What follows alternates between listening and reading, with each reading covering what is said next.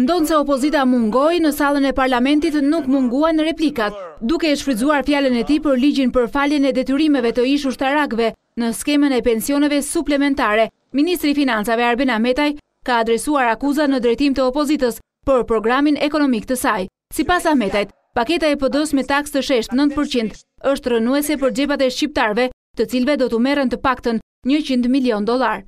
Të gjitha shkurtimet që ai pretendon të bëjë. Me një fjalë, administratori i opozitës na kthen sërish te gremina e vitit dy mijë e dymbëdhjetë dy mijë e trembëdhjetë. Taksë e sheshtë që vetëm klasës së mesme dhe shtresave në nevojë i grabit njëqind milion dollarë. Por opozitën përballë maxhorancës për këto akuza e ka bërë kryetari i PDK-së, Nard Ndoka, ndonëse në koalicion me PS-në, Ndoka nuk ka kursyer kritikat ndaj maxhorancës për reformat ekonomike. Duke e quajtur liderin e opozitës menaxhues, besoj që nuk është kjo rruga e duhur. Vetëm batuta dëgjojmë nga kryeministri ynë.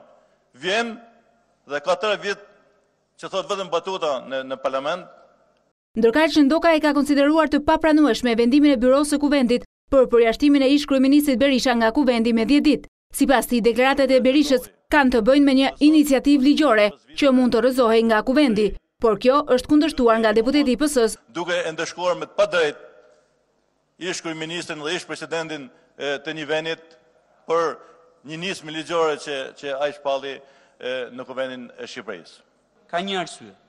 Dhe arsyeja është ky paragraf që gjendet këtu, Në procesverbalin e seancës së javës së shkuar, po citoj, Unë kam një kërkesë për shqiptarët sot. Ju bëj thirrje qytetarëve shqiptarë për sigurinë e tyre të armatosen, të sigurojnë armë për të mbrojtur veten, vatrat, pasuritë e tyre, sepse nuk kanë asnjë siguri. Ku hyn ligji këtu? Unë jam pro nismave që deputetët e Kuvendit të Shqipërisë e kanë të drejtë kushtetuese që t'i marrin. Dhe nuk nuk lexohet një fjali, një kontekst i tij, por komplet ideja, të cilën çdo deputet e parashtron.